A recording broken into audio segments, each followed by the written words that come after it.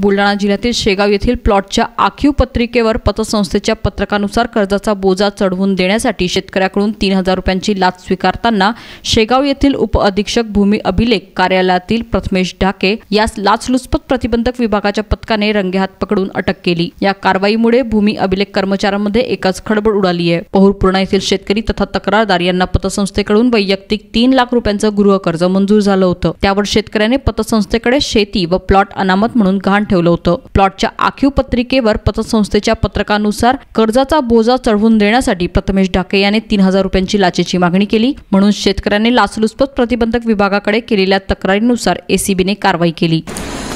तक्रारदार यांनी anti corruption bureau बुलढाणाकडे विषामगृह शेगाव येथे तक्रार नोंदवली की भूमी अभिलेख कार्यालयातील श्री ढाके हे त्यांना आखीव पत्रिकेवर बोजा चढवण्यासाठी तीन हजार रुपयाची मागणी करत आहेत.